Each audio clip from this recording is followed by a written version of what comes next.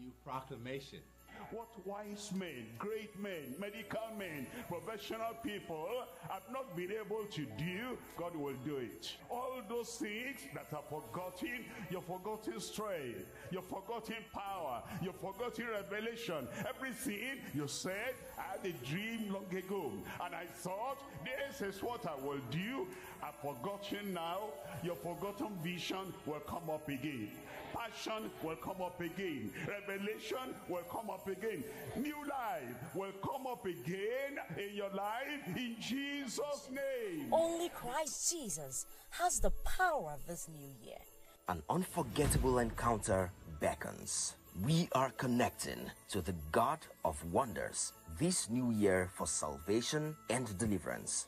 Welcome GCK to Asaba, Delta State, Nigeria, January 26th to 31st, 2023. 1600 hours GMT daily and global Sunday worship at 0700 hours GMT.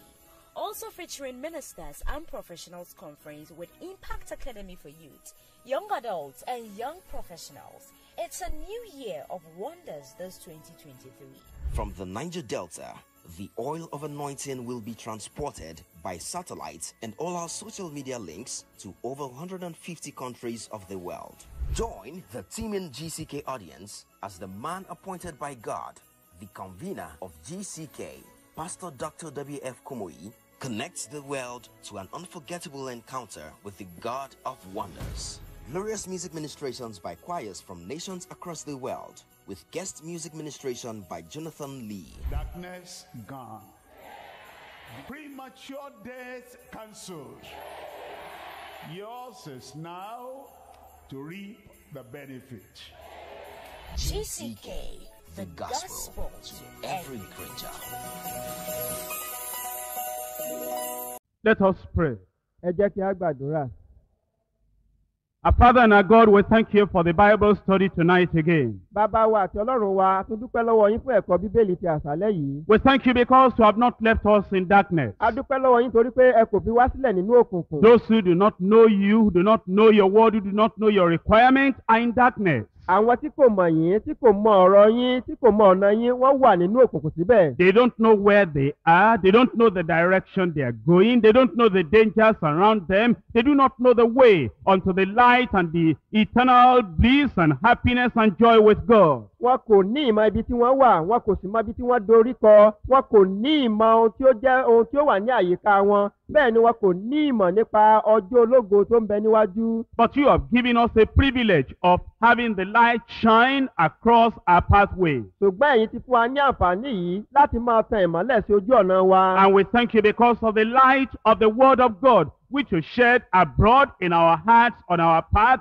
every time as we come in here to study. a sì dúpẹ́ lọ́wọ́ yín fún ìmọ̀lẹ̀ ọ̀rọ̀ yín eléyìí tí ẹ máa ń sí ọkàn wa sí ojú ọ̀nà wa ní ìgbà gbogbo tí a bá wá sí láti kọ́ ẹ̀rọ yín. Father, we are depending upon the Holy Spirit tonight that He will enlighten us. He will illuminate us. He will make us to know the truth as it is in Christ in Jesus' name. àwa sì ń gbẹ́kẹ̀lé ẹ̀mí mọ́ pé ní àṣálẹ́ yìí yóò sì wa níyè yóò tẹ ìmọ́lẹ̀ sínú ọkàn wa yóò sì mú kí ọ̀nà wa kó mọ́lẹ̀ sí inú òtítọ́ ní orúkọ jésù. By your word and your spirit, we pray you lead us on nípa ọ̀rọ̀ yín àti ẹ̀mí yín à ń gbàdúrà pé kẹ́ ẹ máa darí wa nsò. until we will see you face to face in glory. títí a ó fi fojú kàn yín nínú ògo. In Jesus' name we pray. ní orúkọ jésù ni a gbàdúrà.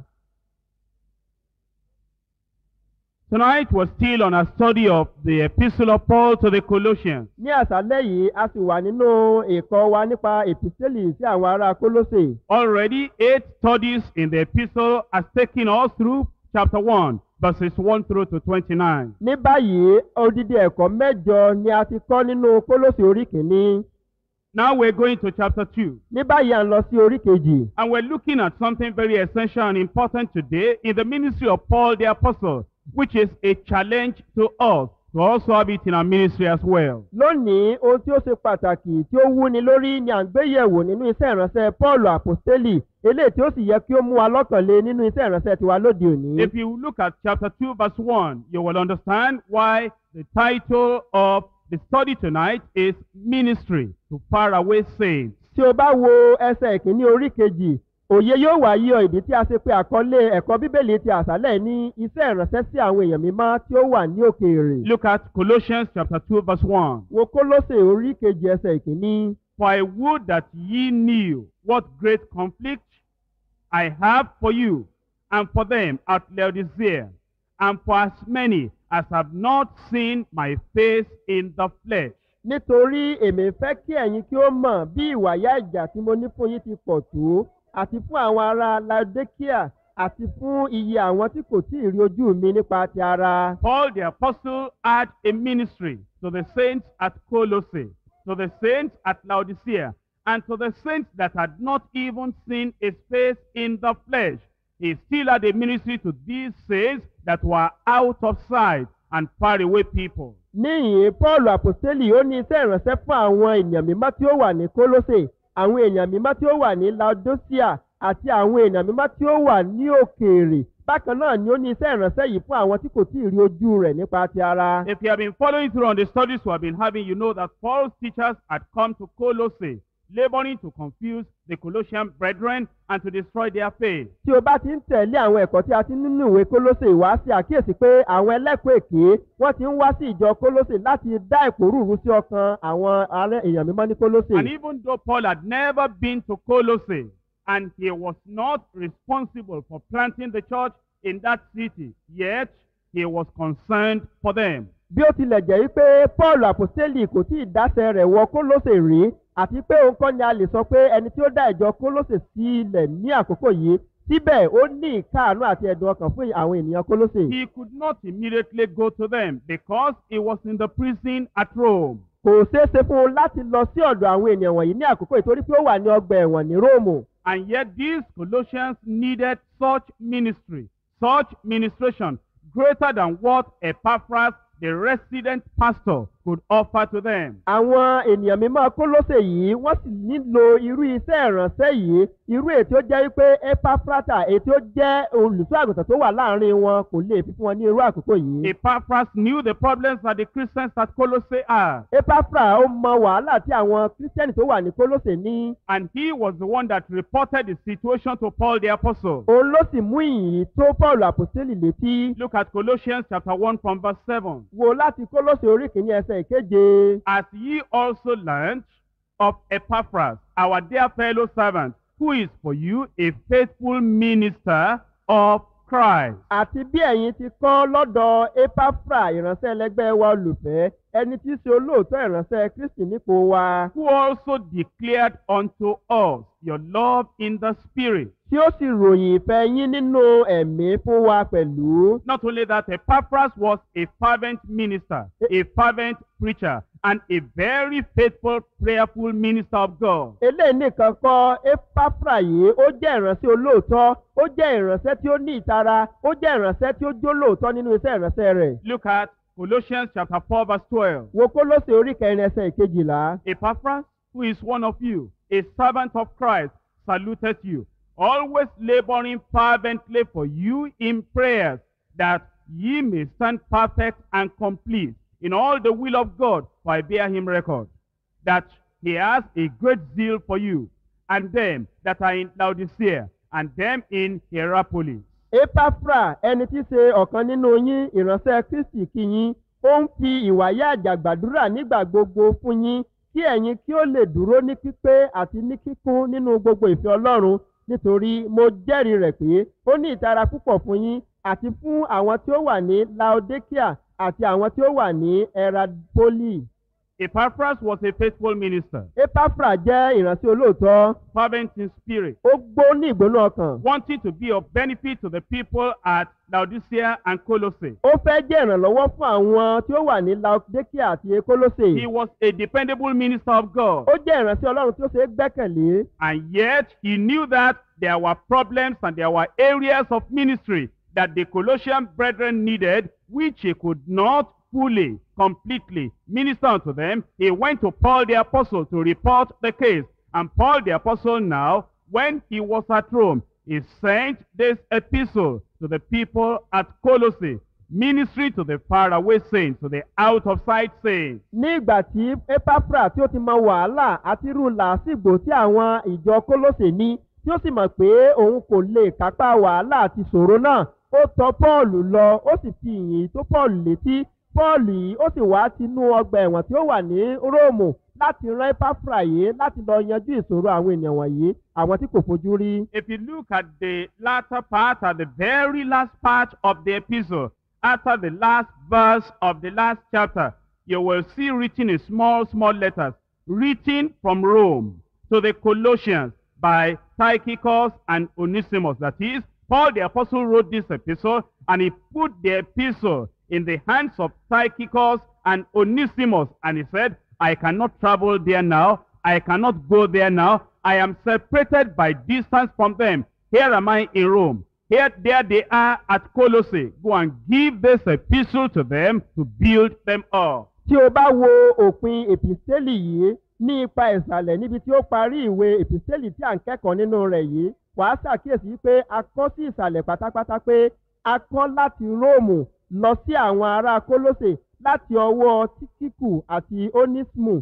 eléyìí tí ó fi hàn wá wípé paul àpòsílẹ̀ ní àkókò yìí kò láǹfààní láti rìnrìn àjò láti lọ bá àwọn èèyàn náà ní kólósè ó wà ní róòmù ó sì ń ti ọwọ́ àwọn tíkíkù àti onísmù láti fi ìwé yìí sọwọ́ sí wọn. It is very similar to what is happening in our midst right now. ó farajọ nǹkan tó ń ṣẹlẹ̀ láàárín wa nísinsìnyí. That even though I am not with you in the physical, we are separated by distance. And yet, that we are separated by distance doesn't mean that I cannot exercise an effective ministry towards you, even though you are out of my sight and even though you are far away, so to say. nítorí náà bí ó tilẹ̀ jẹ́ pé ní àkókò yìí n kò lè sí láàárín yín tí ó dàbí ẹni pé ọ̀nà jíjìn ó pín wa níyà báyìí ṣùgbọ́n eléyìí pé ọ̀nà jíjìn ó pín wa níyà kò dí mi lọ́wọ́ láti má ṣe ojúṣe mi àti iṣẹ́ ìránṣẹ́ mi láti lè mú yín dàgbà nínú ọlọ́run bí ó tilẹ̀ jẹ́ pé n kò fojú rí yín. We'll talk more about that later, but you see, Paul the Apostle had earlier shown the features of the ministry of God appointed ministers.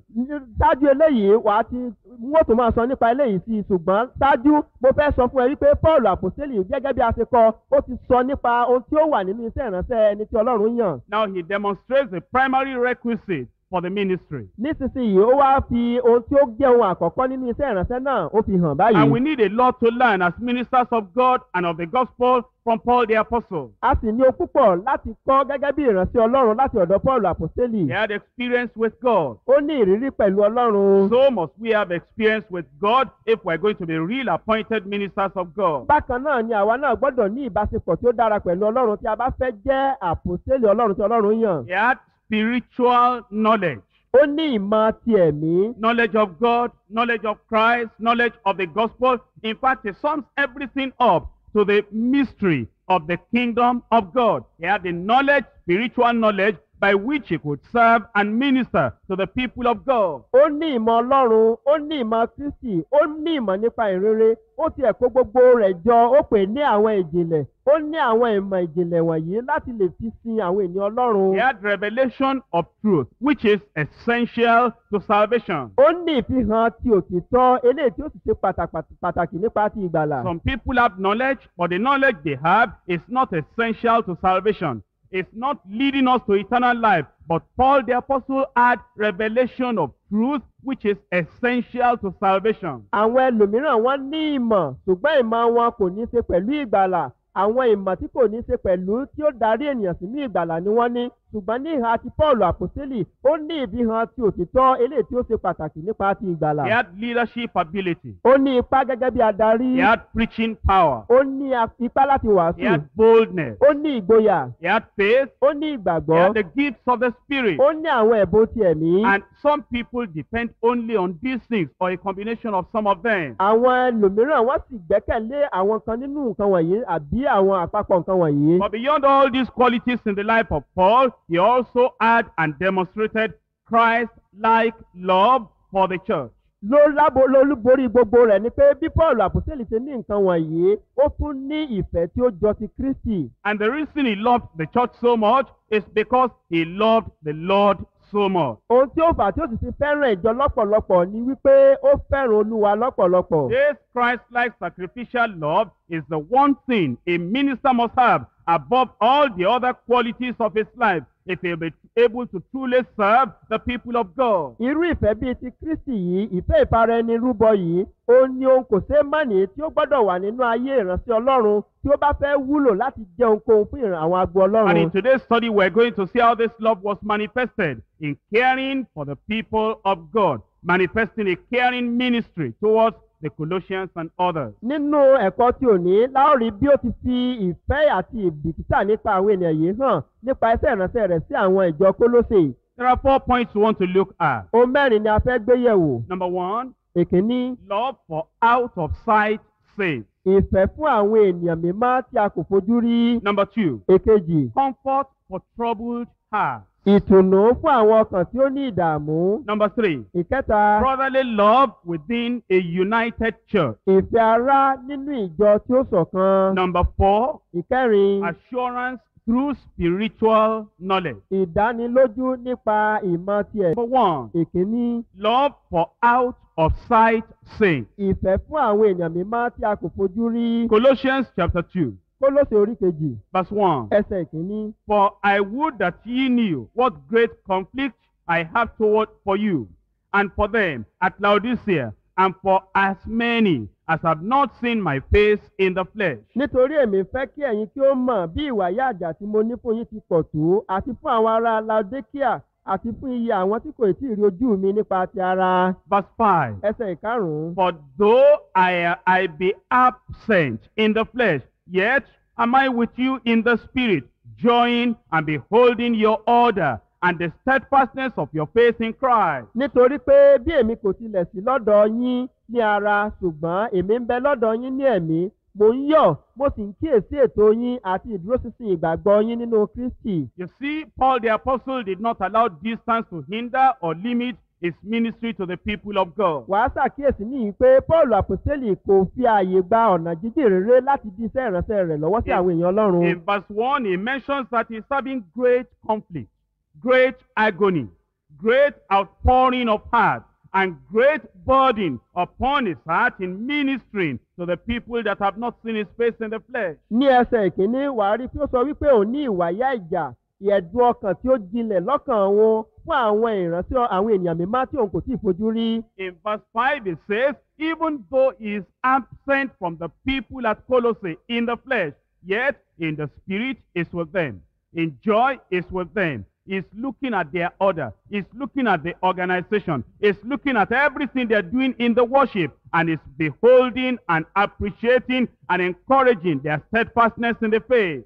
Ní ẹsẹ̀ ìkarùn-ún sọ wípé bí òun kò tilẹ̀ sí láàárín wọn nípa ti ara ṣùgbọ́n òun ń bẹ lọ́dọ̀ wọn nípa ti ẹ̀mí òun ń bẹ lọ́dọ̀ wọn nípa ti ayọ̀ òun sì ń kíyèsí gbogbo ètò wọn àti gbogbo tí wọ́n ṣe àti gbogbo bí wọ́n ti mú iṣẹ́ ìránṣẹ́ kristi àti ìgbàgbọ́ wọn nínú kristi pé Here, this is similar to Christ's ministry. eléyìí farajọ iṣẹ́ ìránṣẹ́ iṣẹ́ ìránṣẹ́ kristi. Because, you know, Christ's love for the church made him give himself for the church. ó torí pé o mọ̀ pé ìfẹ́ kristi fún ìjọ ó jẹ́ kí ó fi ara rẹ̀ fún ìjọ. And yet, his earthly ministry did not, was not the final thing. His ministry for the church did not terminate with his earthly ministry. nítorí pé iṣẹ́ ìránṣẹ́ rẹ̀ sí ìjọ kò dópin nígbà tí ó kúrò nínú ayé yìí. Though he's in heaven now, and we are on earth, and we are separated physically by great distance, he still continues to minister to us. bí ó tilẹ̀ jẹ́ pé ọ̀run ló wà nísinsìnyí tí àwa sì wà nínú ayé tí ọ̀nà gbọ́ọ̀rọ̀ sì pín wa níyà báyìí síbẹ̀ ó ṣiṣẹ́ ìránṣẹ́ rẹ̀ fún àwa tí a wà nínú ayé. Because we are told in Hebrews chapter 20, chapter 7, verse 25, that is making intercession for us even now. nítorí pé a sọ fún wa nínú ebéèrú orí kejì ẹsẹ̀ kẹẹ̀ẹ́dọ́gbọ̀n wípé nísinsìnyí ó sì ń síbẹ̀ fún wa ó sì pẹ̀ fún wa. In John chapter 14, verses 1 to 3, you know what he's doing now? He's still preparing a place for us. He's still serving us. ǹjẹ́ o mọ̀ pé inú johannu orí kẹrìnlá ẹsẹ̀ ìkíní sí ìkẹta ó sì ń pèsè àyè sílẹ̀ fún wa báyìí ó sì wà báyìí. In John chapter 16, verse 7, he'll pray the Father. And the Father, because he pleads for us, because he prays for us, because he demands for us, will send the Holy Ghost to us. nínú johannu orí kẹrìndínlógún ẹsẹ̀ ìkeje ó bẹ bàbá nítorí kí ó sì sì pẹ̀ fún wa ó bẹ̀bẹ̀ fún wa bàbá sì rán ẹ̀mí mímọ́ rẹ̀ sí wa. And we're told in Mark chapter 16, verses 19 and 20, that the Lord went away to heaven, and yet the disciples went forth and the Lord was walking with them. nínú máàkù orí kẹrìndínlógún ẹsẹ̀ ogún a rí i pé olùṣọ́ à- jésù kristi fúnra rẹ̀ ó gòkè lọ sọ́run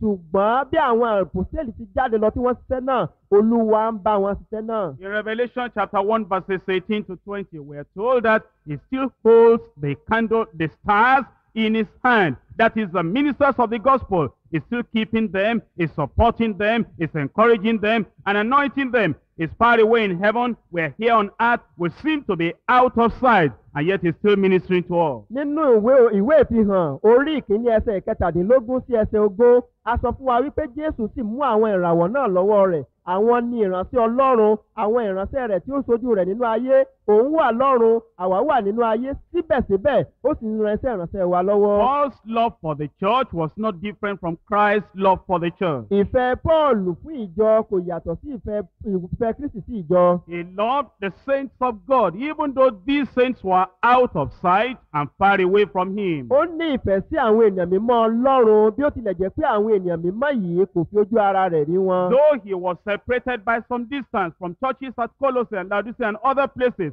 yet he loved them and he carried on the ministry on their behalf. bí ó tilẹ̀ jẹ́ pé ìyapa nípa ọ̀nà jíjìn ó wà láàárín rẹ̀ sí ìjọ kólósì àti ìjọ ladésì àti àwọn ìjọ mìíràn ṣùgbọ́n ìfẹ́ rẹ̀ sí wọn ó ń tẹ̀síwájú. But Paul the apostle was not the only one. Paul àpòsílì nìkan kọ́ In the Old Testament were people like Nehemiah and Daniel. nínú májẹ̀mú láéláé a ní àwọn èèyàn bíi nehemiah àti danieli. That even though they were far away from the people that they loved and the people they would like to minister to, they still had a burden. They still had a concern. They still had intercessory ministry and even teaching ministry. And they had a pleading kind of ministry on behalf of these people that are far away and out of sight. pé àwọn ènìyàn tí wọ́n ní láti bójútó tí wọ́n láti ṣiṣẹ́ ìrànṣẹ́ fún bí wọn kò tilẹ̀ sí ní ọ̀dọ̀ wọn lójúkojú síbẹ̀síbẹ̀ wọ́n ní ìwàyà ìjà wọ́n ní ìgbónú ọkàn wọ́n ní ẹ̀mí àdúrà fún àwọn ènìyàn tí wọ́n láti ṣèpẹ̀ fún wọ̀nyí tí ó wà ní òkèèrè rere. Nehemiah chapter 1 from verse 1. nehemiah orí ìkíní láti ẹsẹ̀ ìkíní. the words of Nehemiah the son of Akaliah. And it came to pass in the month of Chislev, in the twelfth year, as I was in Chusan, the palace, ọ̀rọ̀ nehemiah ọmọ akalaya ó sì ṣe nínú oṣù kílíù ní ogún ọdún nígbà tí mo wà ní susani ààfin.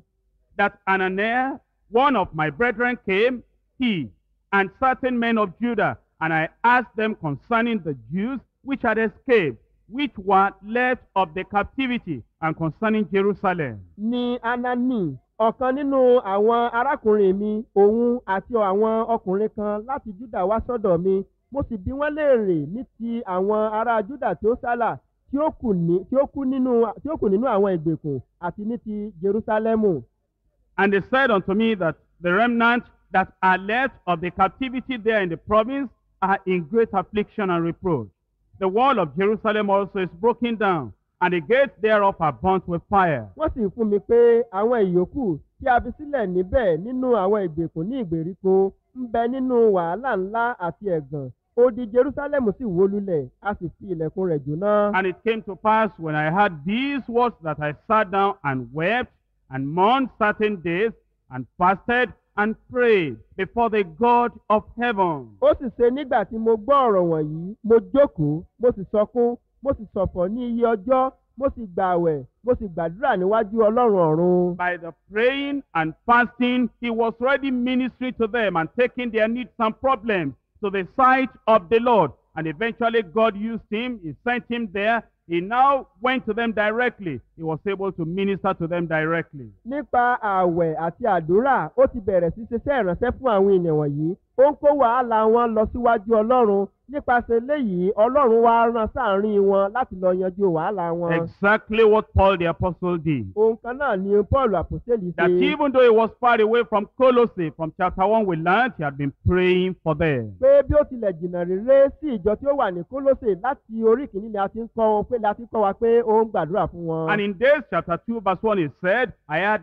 great conflict for you. ní orí kejì ẹsẹ̀ kìíní ló ti sọ pé mo ní ìwà ìyá ìjà púpọ̀ fún yín. And now in writing to them, he was teaching them and counseling them, even though they were out of his sight. bí ó ṣe ń kọ̀wé sí wọn ó ń kọ̀wé sí wọn ó ń gbà wọ́n nímọ̀ràn bí ó tilẹ̀ jẹ́ pé kò fojú rí wọn. If you look at Daniel chapter 9, verses 2 to 4, you will see the same thing. tí o bá wo dáníẹ́lì orí kẹsàn-án láti ẹsẹ̀ kejì sí ẹsẹ̀ kẹrin kan náà ni wàá bá pàdé níbẹ̀. That though Daniel was not at Jerusalem, bí ó tilẹ̀ jẹ́ pé ò sí ní he jerúsálẹ́mù was far away in Babylon. ní babylon lọ́nà jíjìn rere ló wà. Yet he was ministering to them by praying, not only by praying, by receiving prophecy from the Lord and writing down, preserving it for the edification and the learning of the people of Israel and the whole church. kì í ṣe pé ó ń gbàdúrà fún wọn nìkan bẹ́ẹ̀ ló ń gba àsọtẹ́lẹ̀ láti ọ̀dọ̀ olúwa fún wọn tí ó sì ń ṣe àkọsílẹ̀ rẹ̀ pé àwọn tí yóò bá kà á yóò jẹ́ ìmúlọ́kànlé àti ìmúdúró fún wọn. Let's look at Revelation chapter 1 ẹ jẹ́ kí a wo ìwé ìfihàn orí kìíní from verse 9. láti ẹsẹ̀ ìkẹsàn-án. I, John, who also am your brother and companion in tribulation and in the kingdom and patience of Jesus Christ, was in the isle that is called Patmos for the word of God and for the testimony of Jesus Christ. èmi johannu arákùnrin yín àti alábàápín pẹ̀lú yín nínú wàhálà àti ìjọba àti sùúrù tí ń bẹ nínú jésù wà nínú erékùsù tí à ń pè ní patmo nítorí ọ̀rọ̀ ọlọ́run àti nítorí ẹ̀rí jésù kristi. I was in the Spirit on the Lord's day and heard behind me a great voice as of a trumpet. Mo wà nínú ẹ̀mí ilé ọjọ́ olúwa mo sì gbọ́ ohùn ńlá kan lẹ́yìn mi bí ìró ìpè. saying, I am Alpha and Omega, the first and the last, and what thou seest write in a book, and send it unto the seven churches which are in Asia, unto Ephesus, and unto Smyrna, and unto Pergamos, and unto Thyatira, and unto Sardis, and unto Philadelphia, and unto Laodicea. ó ń wí pé èmi ni alpha àti omega ẹni ìṣáájú àti ẹni ìkẹyìn ohun tí ìwọ bá sì rí kọ sínú ìwé kí o sì rán sí àwọn ìjọ méje sí éfésù àti sí mina àti sí págámọ àti sí taitaria àti sadi àti philadelphia àti sí laodicea. Even though John was out of sight from these seven churches in Asia, the Lord sent him and he told him, Your ministry has not terminated to these people, even though you are out of sight. Write unto them. And the Lord gave him the message. He sent the message of correction, the message of uh, commendation, the message of encouragement, the message that will help them to prepare for the coming of the Lord. He sent it to these seven churches, even though these seven churches were out of sight for John the Beloved. bí ó tilẹ̀ jẹ́ pé ní àkókò yìí johannu olùfẹ́ kò fojú rí àwọn ìjọ méje tí ó wà ní ẹkùn asia yìí ṣùgbọ́n ọlọ́run fún un ní ojúṣe wípé iṣẹ́ ìránṣẹ́ rẹ kò tí ì dáwọ́ dúró nítorí pé o kò sí láàárín wọn báyìí nítorí náà ọlọ́run wá rán iṣẹ́ láti ọ̀dọ̀ láti ẹnu rẹ̀ tí àwọn ìjọ yìí ó sì kọ̀wé sí wọn tí àwọn ìjọ méjèèje wọ̀nyí láti lè kọ́ wọn láti lè tọ́ wọn láti bu oríyìn fún wọn nítorí pé ó sì jẹ́ ẹni tí ọlọ́run rán sí wọn bí ò tiẹ̀ rí bí wọn kò rí We lójúkojú. thank God that God has not changed. a dúpẹ́ lọ ọlọ́run pé ọlọ́run kò yí padà. The same God who allowed Nehemiah to still be ministering to the people at Jerusalem, though distance separated them. That same God who allowed Daniel to be ministering to the people of Jerusalem and the people of Israel, even though distance separated them. That same God is still at work today. He grants me, the pastor and the general superintendent, to still keep on ministering to you, even though distance separates us. You seem to be out of sight. You seem to be far away. ọlọ́run kan náà tí ó ran nehemiah lọ́wọ́ láti jẹ́ ohun èlò àbí ẹni tí ó ṣiṣẹ́ ìránṣẹ́ fún àwọn ènìyàn jerusalemu bí ó tilẹ̀ jẹ́ pé wọn kò sí ní ibi tí wọ́n ti lè fojú rí ara wọn ọlọ́run yìí kan náà tí kò yí padà tí ó jẹ́ kí daniel kó ṣe iṣẹ́ ìránṣẹ́ fún àwọn èèyàn tó wà ní jerusalemu àti àwọn èèyàn israẹli lápapọ̀. Bí ó tilẹ̀ jẹ́ pé ìpínyà wà láàárín wọn fún àkókò díẹ̀ ọlọ́run yìí kò yí padà. Òun náà ló sì ń ràn mí lọ́wọ́ gẹ́gẹ́ bí olùṣọ́ àti alákòóso alákòóso yín lápapọ̀ láti lè máa ṣiṣẹ́ ìrànṣẹ́ fún yín. Bí ó tilẹ̀ jẹ́ wípé àǹfààní kò sí láti wà láàárín yín báyìí. The same thing he did with Paul, the same thing he did with John the Beloved, and the same thing he's doing with us today. We should be grateful to God that he gives us the insight into God appointed ministry so that he gives us that same ministry today. And though we're out of sight and separated by distance, the ministry continues effectually. ohun kan náà ló ṣe pẹ̀lú paul àpòstélì ohun kan náà ló ṣe pẹ̀lú johannu olùfẹ́ ohun kan náà ni ó sì ń ràn wá lọ́wọ́ láti máa ṣe lónìí bí ó tilẹ̀ jẹ́ wípé ìpínyà wà wa tí a kò fojú rí ara wa báyìí ṣùgbọ́n fún wa ní iṣẹ́ ìránṣẹ́ ẹni tí ọlọ́run yàn láti mọ iṣẹ́ náà fún yín. By prayer, by teaching, by instruction, by counseling, I can still continue ministering to you. And I pray that this ministry will be so directed by the Spirit of God and will develop, edify, challenge, and get every one of us ready for the coming of the Lord in Jesus' name. nípa iṣẹ́ ìránṣẹ́ àdúrà ìkọ́ni àti ìtọ́ni ọlọ́run sì ń lò mí láti lè máa ṣe nǹkan wọ̀nyí fún yín bí ó tilẹ̀ jẹ́ pé a kò sí láàárín ara wa àdúrà mi sì ni wípé ọlọ́run yóò máa darí iṣẹ́ ìránṣẹ́ yìí nípasẹ̀ ẹ̀mí rẹ̀ tó bẹ́ẹ̀ gẹ́ tí gbogbo wa yóò sì di alágbára tí a fi lókun sí i títí a fi múra fún bíbò olúwa ní orúkọ jésù. Now, point two comfort for troubled hearts. ipa ìkejì ìtùnú fún àwọn ọkàn tí ó ní ìdààmú. Here, Paul talks about the purpose of his ministry to the Colossians that were far away. níyìn ni paul àpòsílẹ̀ wá sọ èrè ìdí iṣẹ́ ìránṣẹ́ rẹ̀ fún àwọn ará kólóṣè tó jìnnà réré. Look at chapter 2, verse 2 of Colossians. wo orí kejì ẹsẹ̀ ìkejì kólóṣè that their hearts might be comforted, kí a lè tu ọkàn wọn nínú that their hearts might be comforted. kí a lè tu ọkàn wọn nínú. Why did they need comfort and strengthening in their spirit?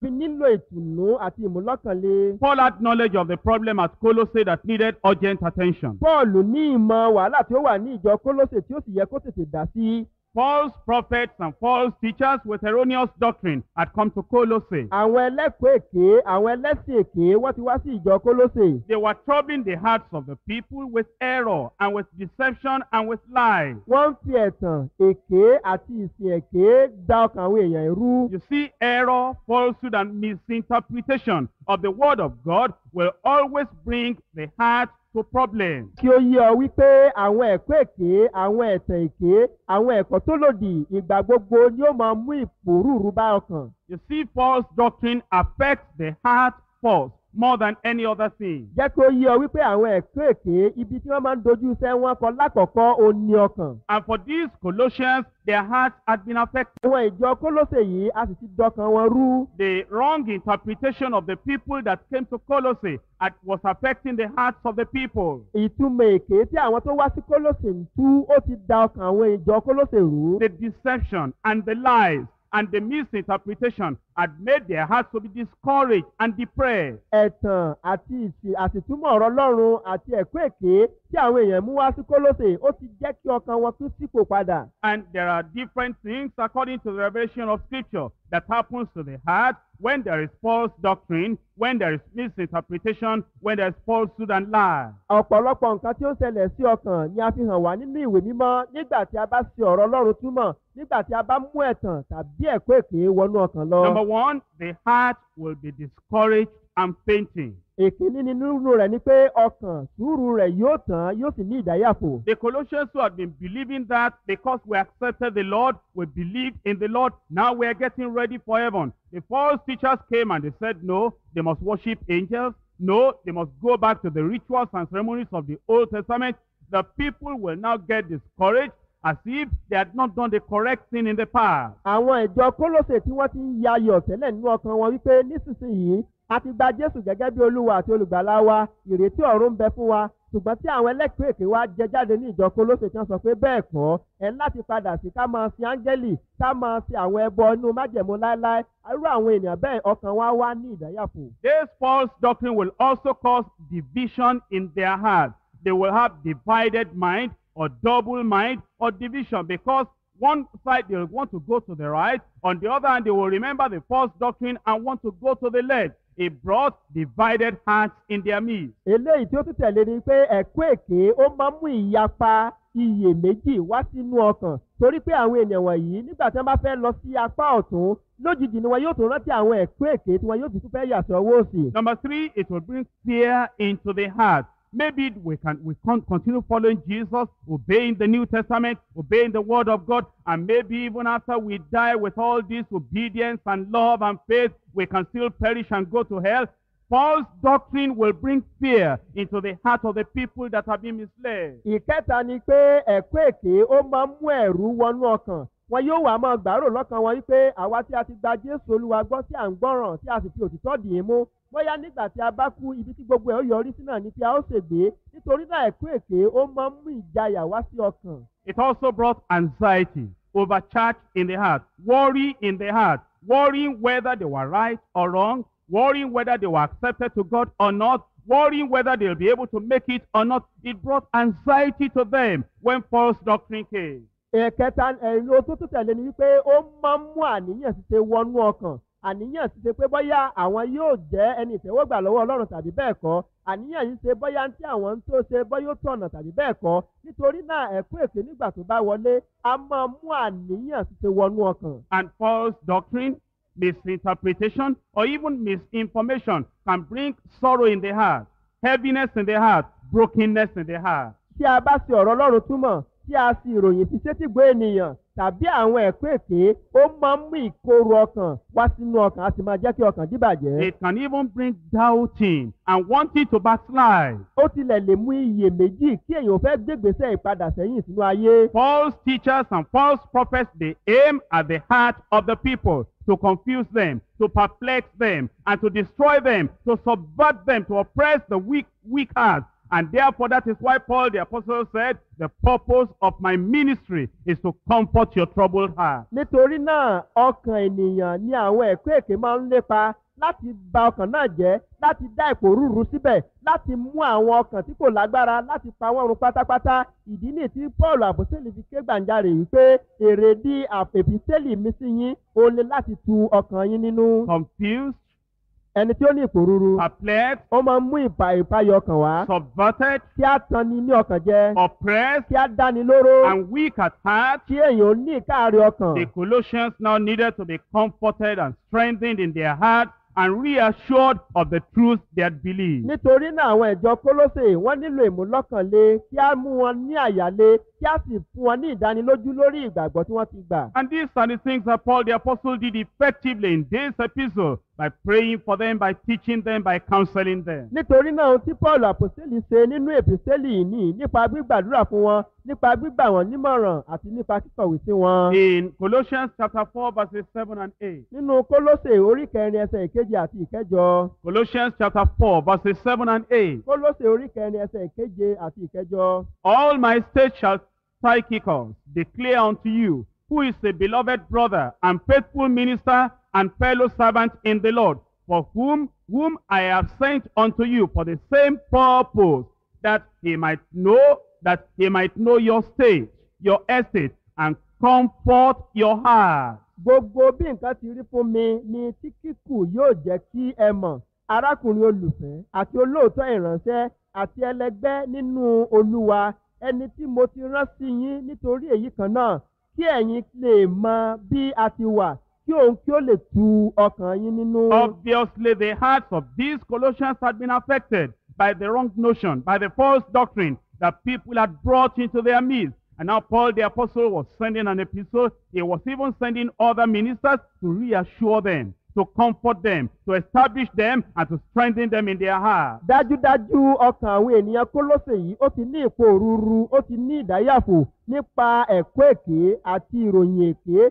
tí àwọn ènìyàn ti mú wá bá wọn nítorí náà ó láti kọ ẹ̀písẹ́lì sí wọn ó ti ẹ̀gbẹ́ àwọn ìránṣẹ́ ọlọ́run mìíràn dìde láti lọ tu ọkàn wọn nínú. And this is our ministry. eléyìí sì ní iṣẹ́ ìránṣẹ́ wa. When we see that false prophets and false teachers are confusing the people of God. nígbà tí a bá rí tí àwọn àwọn olùkọ́ èké àwọn ìránṣẹ́ èké tí wọ́n bá fẹ́ pọ ọkàn àwọn èèyàn run. They're discouraging and depressing the hearts of the people of God. tí wọ́n ń dáyà fún àwọn ènìyàn tí wọ́n sì ń bọ ọkàn àwọn èèyàn They're bringing doubt and fear in the hearts of the people of tí God. wọ́n mú iyèméjì àti ìbẹ̀rù wá sínú ọkàn àwọn èèyàn ọlọ́run. And they are making the people of God now to halt between two opinions because of the erroneous things they are bringing to the midst of the people of God.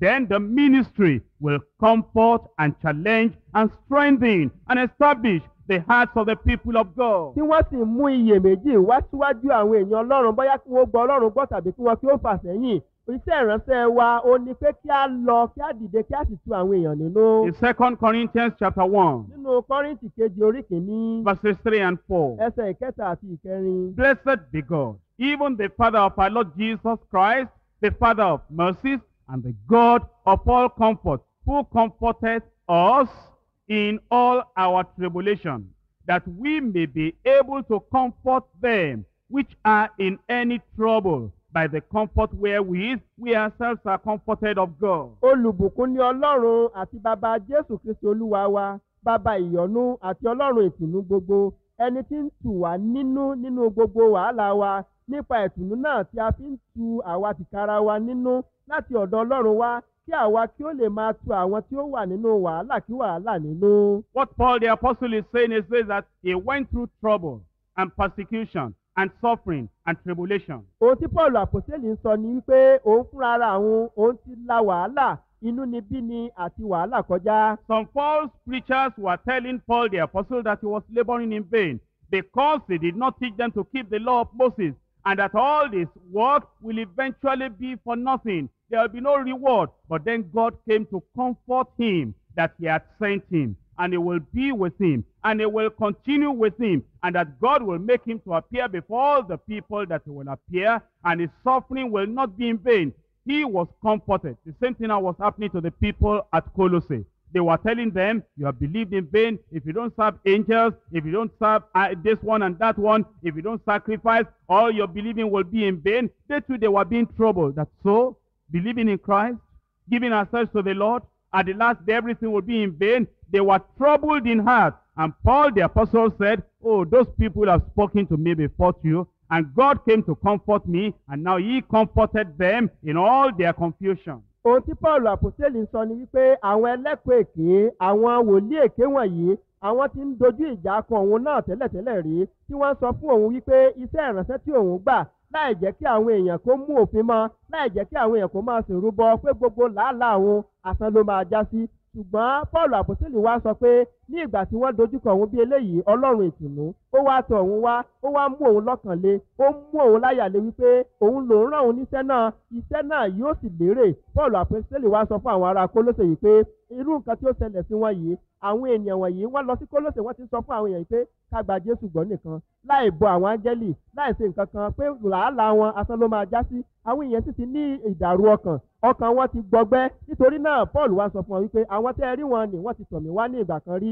Nígbà tí wọ́n sì tọ̀ wá tí wọ́n fẹ́ dá ìdáyàfò sínú ọkàn mi ọlọ́run ìtùnú olótùmí nínú. Nítorí náà nínú ìtùnú tí ó wá fún mi èmi náà ń tù yín nínú. Another thing that he had in purpose or had in mind in ministry to them is point three brotherly love within a united church. ohun mìíràn tí ó ní ní ọkàn tí ó fi ń ṣiṣẹ́ ìránṣẹ́ fún wọn òun náà ní ipa ìkẹta ẹ̀kọ́ wa ìfẹ́ ara nínú ìjọ tí ó If you look at Colossians chapter 2, verse 2, tí o bá wo kólóṣè orí kejì ẹsẹ̀ kejì that their hearts might be comforted, kí á lè tu ọkàn wọn nínú. being knit together, united together in love. bí a ti so wọ́n pọ̀ nínú ìfẹ́ Brothers and sisters, there are some things we need to learn about false doctrine. arákùnrin àti arábìnrin ohun kan wà tí a ń láti kọ́ nípa ẹ̀kọ́ èké. False doctrine tends to cause division and selfishness among deceived people. àwọn ẹ̀kọ́ èké wọ́n máa ń fẹ́ dá ìyapa sílẹ̀ láàárín àwọn ènìyàn tí a ti tàn jẹ. Such division among the brethren affects various areas of our relationship. irú ìyapa yìí ó sì máa ń nípa lórí oríṣiríṣi ìbáṣepọ̀ wa. These false prophets were coming to Colossae àwọn wòlíì èké yìí wọ́n ń wá sí kólóṣè and the lies they were telling them, àti èké tí wọ́n sọ fún the wọn misinterpretation they were giving them àsìtúmọ̀ ọ̀rọ̀ ọlọ́run tí wọ́n fún wọn. was bringing division among the people of God. ó wá mú ìyapa wá sáàrin àwọn èèyàn ọlọ́run. false doctrine always brings division. dájúdájú ìyapa ni ẹ̀kọ́ èké máa mú wá When nígbà somebody gbogbo. comes to you and he gives you false doctrine, nígbà tẹ́nìkan bá tó ẹ̀ wá tí ó sì mú ẹ̀kọ́ èké tó ẹ̀ wá. it will lessen your love for the people of God. á dín ìfẹ́ rẹ sí àwọn èèyàn ọlọ́run kù. You will want to separate yourself from the people of wà á God. fẹ́ ya ara rẹ sọ́tọ̀ kúrò láàrin àwọn èèyàn will ọlọ́run. lessen your commitment to Christ and to the people of á God. dín ìfara ẹni jìn rẹ fún kristi àti àwọn èèyàn ọlọ́run kù. The love and respect you had for the one who has been used to bring you into the fullness of the gospel. That love will decrease. ìfẹ́ tí o ní sí ẹni tí ó jẹ́ pé ọlọ́run ń lò láti mú ẹ wá sínú ìrere irú ìfẹ́ bẹ́ẹ̀ yóò dínkù. Is that not what Paul's doctrine did in the Galatians church? ohun tí ẹ̀kọ́ èké ṣe ní galatia kan ní eléyìí bí. Because Paul went there and gave them the gospel, the full gospel, the true gospel. nítorí paul àpòsílẹ̀ ti lọ síbẹ̀ láti fún wa ní ìrere tí ó kún. But some other people now brought the law of Moses to them. ṣùgbọ́n àwọn kan wá jẹ jáde tí wọ́n mú òfin mósè tọ̀ wọ́n wá. And these people now did not have the same love they used to have for Paul the apostle. They didn't have the love again. àwọn ènìyàn wọ̀nyí wọn kò wá ní irú ìfẹ́ eléyìí tí wọ́n ní sí paul àpòsílẹ̀ wọn kò ní sí i mọ́. And in chapter 4 of Galatians, verse 11, it said, I am afraid of you, lest I bestowed upon you labor in vain. ní ẹsẹ̀ ìkọkànlá orí ìkẹrin galatia ó wá sọ wípé ẹ̀rù yín ń bà mí kí ó má bàa ṣe pé lásán ni mo ti ṣe làálàá lórí yín. He said in verse 14, My temptation which was in my flesh, ye despised not, nor rejected, but you received me as an angel of God, even as Jesus Christ. ní ẹsẹ̀ ìkẹrìnlá ó wá sọ wípé èyí tí ó sì jẹ́ ìdánwò fún yín ní ara mi ni ẹ kò kẹ́gàn bẹ́ẹ̀ ni ẹ kò sì kọ́ ṣùgbọ́n ẹ̀yin gbà mí bí áńgẹ́lì ọlọ́run àní bí kristi jésù. Where is then the blessedness ye spake of? For I bear you record that if it had been possible, ye would have plucked out your eyes, your own eyes, and have given them to me. ǹjẹ́ ayọ̀ yín ìgbà náà á da nítorí mo gba ẹ̀rí yín jẹ́ pé ìbá ṣeé ṣe ẹ̀bá yọ ojú yín jáde ẹ̀bá sì wọ́n fi wọ́n fún mi. Am I therefore become your enemy because I tell you the truth? ǹjẹ́ mo á di ọ̀tá yín nítorí mo ti sọ òtítọ́ fún yín bí? They zealously affect you, but not well. Yea, they would exclude you that ye might affect them. wọ́n fi ìtara wá yín ṣùgbọ́n kì í ṣe fún rere wọ́n fẹ́ já yín kúrò kí ẹ̀yin kí ó lè máa wá wọn. It was the false teacher, it was the false prophet, and the false doctrine that came to Galatia that made the hearts of these people to be evil affected and to be separated from the minister who brought them to the gospel. ẹ̀kọ́ èké wòlíì èké àwọn olùkọ́ èké tí ó wá sí galatia yìí òun ló ba ọkàn àwọn ènìyàn galatia jà galatia jẹ́ tó bẹ́ẹ̀ gẹ́ tó jẹ́ pé wọ́n fẹ́ ya ara wọn kúrò lọ́dọ̀ ìránṣẹ́ ọlọ́run tó mú wọn wá sínú ìrere. False doctrine will affect us in various ways if we accept false doctrine.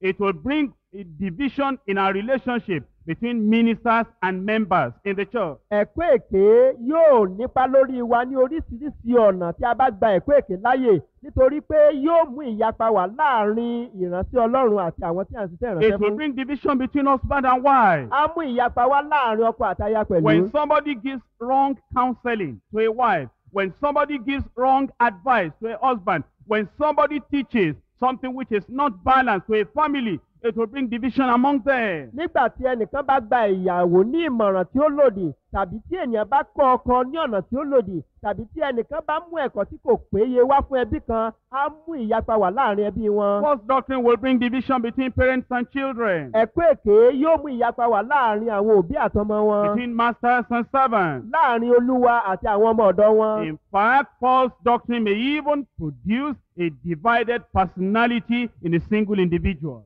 Wọ́n ti ẹ̀ ṣe é ṣe fún ẹ̀kọ́ èké láti mú kí ènìyàn kó japa fún ara rẹ̀ pa. You see, you are an individual by yourself. ìwọ fúnra rẹ You're an individual by yourself and you have body, you have soul, you have spirit. All united together. False doctrine can make you neglect your body, can make you neglect your spirit, can make you make a difference between who you really are, tearing you apart and pulling you this way, pulling you that way, that you become almost a mad fellow. Orí ẹ̀kọ́ èké ipa rẹ̀ tiẹ̀ lé débi wípé ìwọ gẹ́gẹ́ bí ènìyàn tó ní ọkàn ẹ̀mí àti ara tí ẹ̀kọ́ èké yìí bá wọnú ayé rẹ àwọn ẹ̀kọ́ àwọn ara ẹ̀mí àti ọkàn tó ti ṣọ̀kan pọ̀ tẹ́lẹ̀tẹ́lẹ̀ ó lè pín wọn níyà kó yà ọ́ sọ́tọ̀ kó tiẹ̀ dàbí ẹni pé orí rẹ ò ní fẹ́ ṣiṣẹ́ déédéé mọ́. But the Holy Spirit ministers through Paul the Apostle So that the church will remain united and remain in love. ṣùgbọ́n ẹ̀mí mímọ́ ó ti tẹ́ ìránṣẹ́ nípa paul àpòstélì pé kí ìjọ kí ó sì wà nínú ìfẹ́ àti ìṣọ̀kan. And thank God for a united church.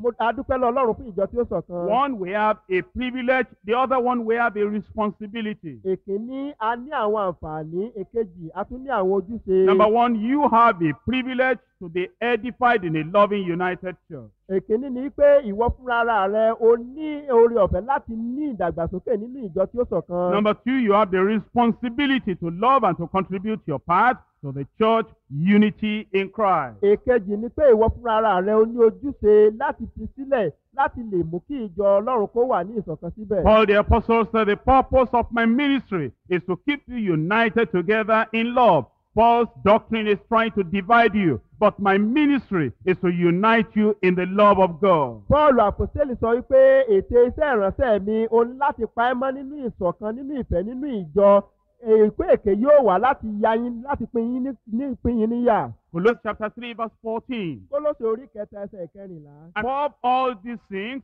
put on charity, put on love, which is the bond of perfectness. Àti borí gbogbo nǹkan wọ̀nyí ẹgbẹ́ ìfẹ́ wọ̀ tí í ṣe àmúrè ìwà pípé. Philippians chapter 2, Fílípì orí kejì from verse 2. láti ẹsẹ̀ ìkejì. Fulfill ye my joy, that ye be like-minded, having the same love, being of one accord and of one mind. Ẹ mú ayọ̀ mi kún kí ẹ̀yin kí ó jẹ́ onínú kan náà kí ìmọ̀ yín kí ó ṣọ̀kan kí ẹ sì ní ọkàn kan. John chapter 13, Jòhánù orí ìkẹtàlá verses 34 and 35. ẹsẹ̀ ìkẹrìnléní ọgbọ̀n àti ìkarùndínlógójì. A new commandment I give unto you that ye love one another, as I have loved you, that ye also love one another. Gẹ́gẹ́ bí èmi ti fẹ́ràn yín kí ẹ̀yin kí ó lè fẹ́ràn ọmọnìkejì yín. Only sound doctrine will keep us together in that love. Ẹ̀kọ́ tí ó yè kooro nìkan ni ó lè so wá ṣọ̀kan nínú ìfẹ́ náà. False doctrine will bring suspicion. Ẹ̀kọ́ èké yóò jẹ́ kí a máa fura síra wa. False doctrine will be separating us from one another. Ẹ̀kọ́ èké yóò máa yà wá nípa sí ara wa. False doctrine will bring pride. Ẹ̀kọ́ èké yóò mú ìgbéraga wá. You will think that the false, erroneous doctrine those false teachers are now teaching you are superior to the basic cardinal doctrines of the Bible you have learnt before. Ẹ̀ ohun tó máa gbàrò ní ọkàn rẹ ni wípé ẹ̀kọ́ èké tí àwọn olùkọ́ èké yìí wá ń kọ́ ẹ ó wá dé tí ó mú ẹyán lórí ju òtítọ́ ọ̀rọ̀ Ọlọ́run tí o ti kọ́ nínú it Bíbélì. is sound doctrine, the revelation of truth as it is in Christ that will keep us united in love together. ṣùgbọ́n ẹ̀kọ́ tí ó yè koro tí ó jẹ́ òtítọ́ bí ó ti rí nínú Kristi òun ni yóò pamọ́ nínú ìṣọ̀kan ìfẹ́. By this shall all men know that ye are my disciples, if ye have love one for another. nípa èyí ni gbogbo ènìyàn yóò fi mọ̀ pé ọmọ ẹ̀yìn mi ni ẹ̀yin ṣe nígbà tí ẹ̀yin bá ń fi ìfẹ́ hàn sí ọmọ nìkejì If you yín. no longer have love for one another, false doctrine has come in somewhere. tí o kò bá wá ní ìfẹ́ sí ara yín mọ́ dájúdájú ẹ̀kọ́ èké ti wọlé. If there is division and suspicion in your heart towards your fellow brother, towards your fellow sister in the church, there is a misinterpretation of the word of God, of the actions of other people somewhere in your heart. tí o kò bá ti ní ìfẹ́ sí àwọn èèyàn mọ́ tó ń fura sí àwọn ènìyàn tó ń yí ẹ̀bá kúrò láàárín àwọn arákùnrin tàbí arábìnrin dájúdájú àsìtúmọ̀ nípa ẹ̀wà ẹni yẹn ó ti wọnú ọkàn rẹ. If you do not have love for your wife or your husband, somebody has taught you false doctrine and you are meditating on something which is different from the totality of the word of God. tí o kò bá ní ìfẹ́ sí ọkọ tàbí sí aya rẹ mọ́ ẹnìkan ti sì ọkọ nítorí náà o sì wá ń ronú lórí ẹ̀kọ́ èké tí ẹnìkan ti kọ́ ẹ sí ọkọ tàbí sí aya John chapter 17 verse 21. Jòhánù orí kẹtàdínlógún ẹsẹ̀ ìkọkànlélógún. that they all may be one, as thou, Father, art in me, and I in thee, that they also may be one in us, that the world may believe that thou hast sent me. kí gbogbo wọn kí ó lè jẹ́ ọ̀kan gẹ́gẹ́ bí ìwọ bàbá ti jẹ́ nínú mi àti èmi nínú rẹ kí àwọn pẹ̀lú kí ó lè jẹ́ ọ̀kan nínú wa kí ayé kí ó lè gbàgbọ́ pé ìwọ ni ó rán mi. In Colossians chapter 2, Kólósè orí kejì. Paul the apostle also spoke about assurance within the believer through spiritual knowledge.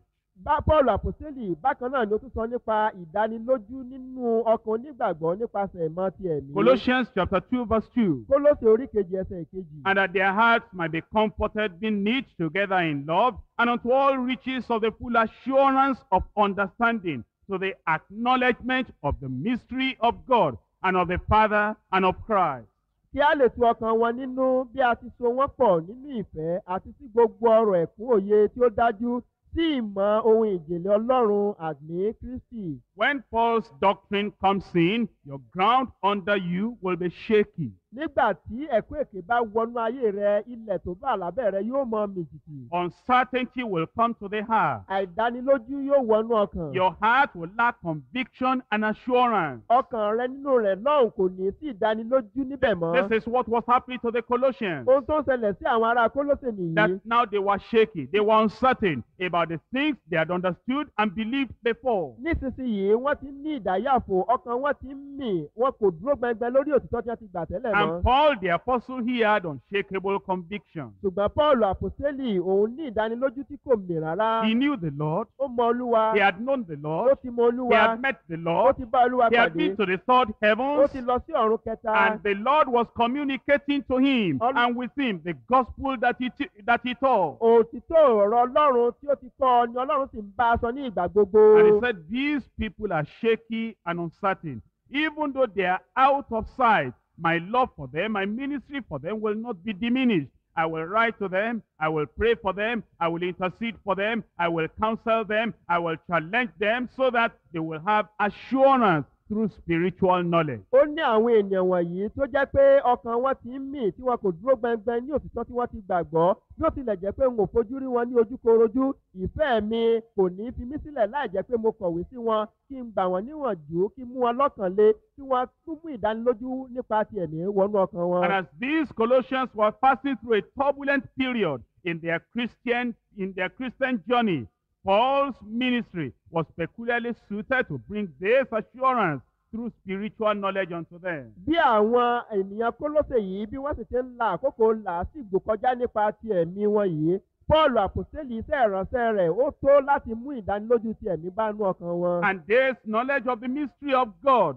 will usher them into the riches of Christ. ìmọ̀ ohun ìjìnlẹ̀ nípa ti ọlọ́run yìí yóò sì mú ọ wọnú ìmọ̀ ti ọlọ́run. The same thing God does for us today. ohun kan náà ni ọlọ́run ṣe fún wa lónìí. And the Spirit of God takes of the things of Christ and reveals to us and impresses them upon our hearts. Then we have peace and unshakable assurance. bí ẹ̀mí ọlọ́run ti mú ti ṣe ti ọlọ́run àti ti kristi tí ó fi èyí hàn wá bẹ́ẹ̀ ni ó ń fi kalẹ̀ nínú ọkàn wa tí àlàáfíà sì ń gba ọkàn wa. In uh, First Thessalonians chapter 1, Nínú- verse 5. nínú tẹsalónìkà kìíní orí ìkarùn-ún ẹsẹ̀ ìkarùn-ún. For gospel came not unto you in word only, but also in power and in the Holy Ghost, and in much assurance, as ye know what manner of men we were among you for your sake.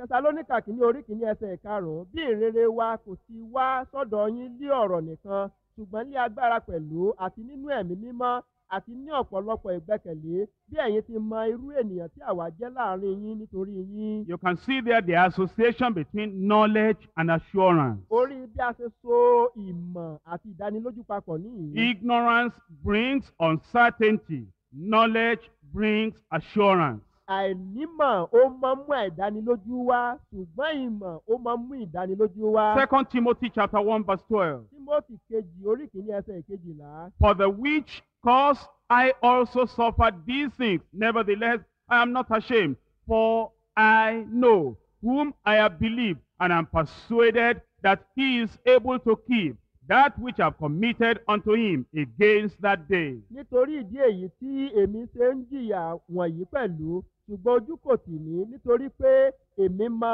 ẹni tí èmi gbàgbọ́ ó sì dá mi lójú pé òun lè pa ohun tí mo fi lé e lọ́wọ́ mọ́ títí dé ọjọ́ ni. You can see over there the connection between persuasion and knowledge. That is knowledge and assurance. O lè rí àṣepọ̀ tí ó wà láàárín ìdánilójú àti ìmọ̀ ìyẹn ni pé kí èèyàn ní ìdánilójú nǹkan àti ìmọ̀ rẹ̀. In uh, 1 John chapter 5, nínú johannu kìíní orí karùn-ún verse 9. ẹsẹ̀ ìkẹsàn-án. If we receive the wit- witness of men, the witness of God is greater.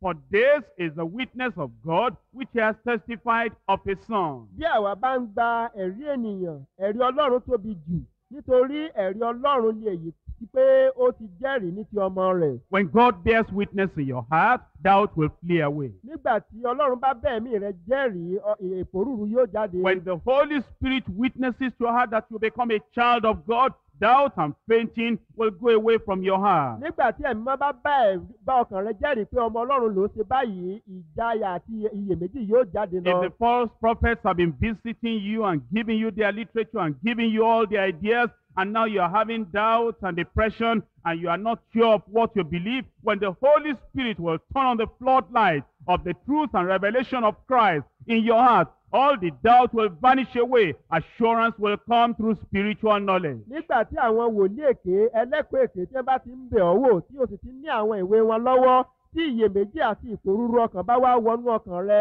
nígbà tí ẹ̀mí mọ́ bá wá tan náà ìmọ́lẹ̀ ọ̀rọ̀ ọlọ́run tí ó tàn sínú ọkàn rẹ iyèméjì àti ẹ̀rù yóò sì fò lọ. Tonight we have seen the ministry of Paul the Apostle to the saints that are far away and out of sight. nísinsìnyí ní àṣálẹ̀ a ti rí iṣẹ́ ìránṣẹ́ paul àpòsílẹ̀ sí àwọn èèyàn mímọ́ tí ó wà ní òkèèrè rẹ tí kò fojú rí. And we have seen that ministry benefiting us ourselves even here tonight. a sì rí iṣẹ́ ìránṣẹ́ yìí tí ó ń jẹ́ àǹfààní fún àwa pẹ̀lú ní àṣálẹ̀ yìí. Troubled hearts have been comforted by the assuring promises of God. àwọn ọkàn tí ó ní ìdààmú ni a ti tù nínú nípa ọ̀rọ̀ ọlọ́run tí ń múni We have been reminded of the necessity of brotherly love in a united church a sì ti rán wa létí ìṣe pàtàkì ara nínú ìjọ tí ó and the ṣọ̀kan. necessity of allowing the Holy Spirit to turn on the revelation of truth in our hearts so we can have unshakable, unmovable assurance in the Lord. àti ìṣe pàtàkì pé kí a fi àyè gba ẹ̀mí mímọ́ láti tan ìdánilójú nípasẹ̀ ẹ̀mọ̀ ẹ̀mí sínú ọkàn wa kí a lè ní ìbàlẹ̀ ọkàn nínú ọ̀rọ̀ ọlọ́run. Let's rise up now and go to the Lord in prayer. ẹ jẹ́ kí a dìde dúró báyìí kí a tọ ọlọ́run lọ nínú àdúrà. If your heart has been troubled by false prophets, confess it before the Lord